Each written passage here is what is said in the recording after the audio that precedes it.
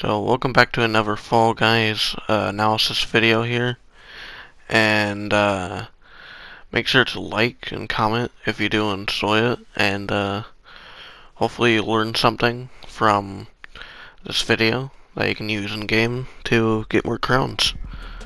So we start off with the Whirligig which has happened numerous times at this point. Uh, so you're going to want to look at the arrows on all the pillars here or the beams so that you know which direction that they're spinning so they can plan accordingly to which path you want to use through it. And nothing else useful in the first video that you can see. But yeah, it's sold up so many times, Whirligig. I always win get it, I don't know. Not every time, but you know. So make sure it's somewhere going down the slope here. So, you don't want to get hit by the end of the beam here, because then you're just going to go ragdoll and not really make it that far. But you want to get hit, or you do not want to get hit by the inner part of the beam, because then you're just going to go ragdoll and make it about nowhere either. But you do want to get hit uh, around the center of the beam, because then you won't go ragdoll and you'll get flung forever. And, uh, yeah, uh, again, you have to actually be at a good angle, though. And people can get in the way a lot, so you gotta be careful about that. So, so while you come up to this point, you just want to continue walking forward, jump, and then dive uh, to get up on top of the ledge here.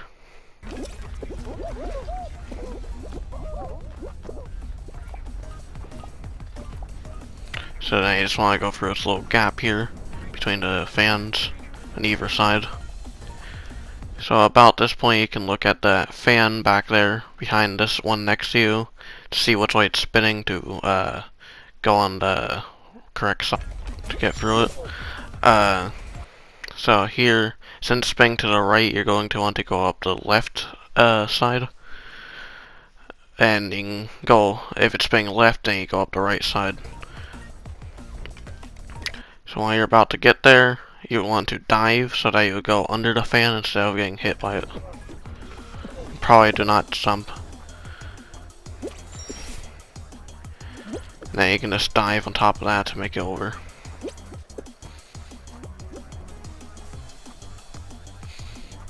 And that is it for the first round. So then the second round is rollout. Uh, it's not, I'm gonna speed this up but there isn't, you know, like there isn't like particular points on the map where you can like, I don't know, uh, do something. But there's different tactics that you can do. Since there's cannons and it's only free, uh, you can either get behind walls or you can get behind the pillars um, to dodge the fruit. And or you could stay towards more of the side towards like the cannons. Because the only starts hitting about at the highest point on the ring. So if you stay closer to them, you won't be able to get hit. Or stay behind the wall and pillar. And uh what was it? Oh yeah, it's uh don't try to get too nervous on this because it is pretty intense intense uh, with the only free rings and everything but don't worry too much about it. So the next round is leading light. I'm also gonna speed this one up because I mean there's basically nothing I can say here other than to stay in the light. And uh, also just like if the light goes up to the top like uh, on top of one of the higher points. Do not keep falling into the wall because I see a lot of people just trying to do that. So I would not recommend doing that. I would just recommend trying to get on top of the higher point instead of uh, trying to walk into the wall with it. But yeah, it's going pretty fast. So well, there it is. So then the next one is Hooping Hoopsie Legends. Yeah. Uh, so this one, there is not, again, too much to go for the rings. There are certain points that you can jump through certain rings even though it doesn't look like it. Here's some other tips. Like I recommend uh, staying around in the middle of the free bridges because uh, a lot, or at least my experience, a lot of gold rings spawn there. But also, I wouldn't recommend staying at a gold ring. Like if a lot of people are trying to uh, get it uh, with a platform, I'd recommend just leaving because while those people sit there, you can go get normal rings and qualify before them. So, and a lot of normal rings also uh, spawn around the middle. So, also a gold knight here, which is kind of rare.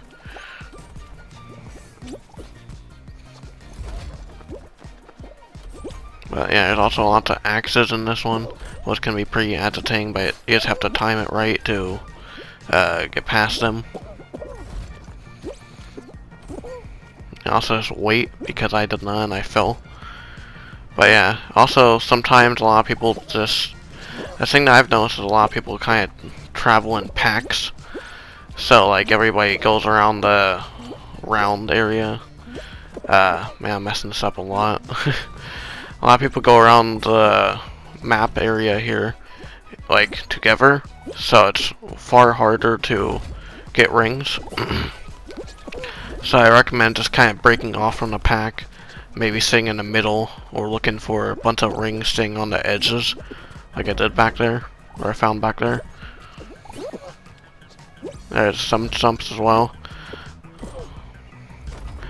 like you can uh I think that's how I know it's from the skull ring uh where some hoops that are at the edge platform things that you can jump to or jump through but looks like you can't but I just need the proper speed and momentum.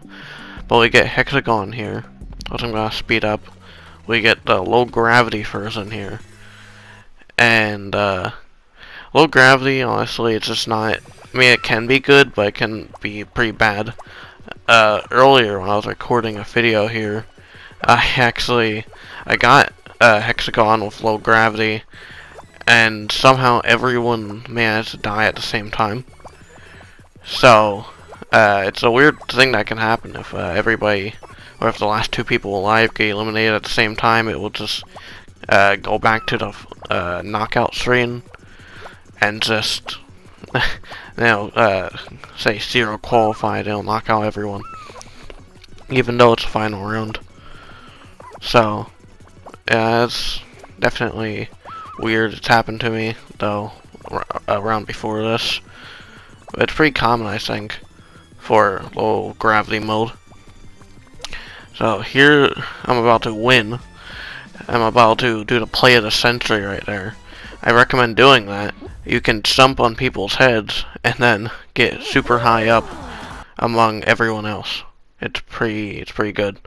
But that's it for this video. Hopefully you guys uh, learned something. Hopefully you guys enjoyed. Hopefully you can get a few more crowns using these tips. And if you did enjoy, make sure to like and comment. And uh, maybe sub if you want. But I'm not going to force you. See you next time.